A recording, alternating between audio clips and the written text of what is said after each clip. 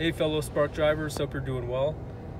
So there's yet another issue with the shopping function, which you probably noticed too, aside from it freezing. And yesterday I did a shopping trip and I was able to scan every barcode without having to go back or anything. So I was impressed and pleased.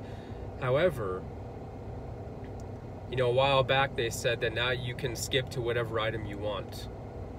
Because one time I was going in circles, you know, like two times around the store, which is ridiculous. Especially when they have everything mapped out, you know, where you're going, what section and that. But anyways, so yesterday, so I went to the back of the store, the J section, because I was going to start with the pens and then just kind of circle around go through grocery. But here's the issue. Because it's like we got one thing working, but now there's another issue. So I was looking for the pens, they were out of stock.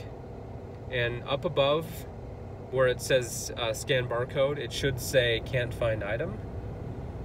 Instead, it says resume shopping. So I backed out, went back in, and it only has the can't find item on the item that it wants you to start shopping first. And the problem is, so I already know the pens are out of stock, but I can't add a substitute. I have to just resume shopping. So I went to grocery and then I had to circle back around and then get a substitute or say I can't find the item.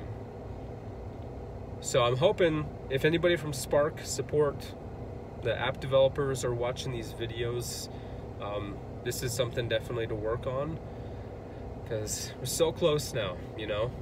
But uh, Spark drivers, you probably had this as well. Any other issues with the shopping that you've encountered? I'd like to hear from you.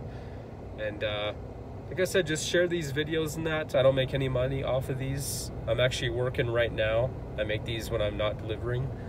So uh, please share them, like them up, subscribe. And because uh, the reviews, I mean, the responses are pretty automated on the App Store. So I don't know if anyone's actually really paying attention because it seems like we have the same issues over and over. But uh, let me know in the comments. Um, even if you don't have this error for whatever reason, maybe it's on a specific phone type, I don't know.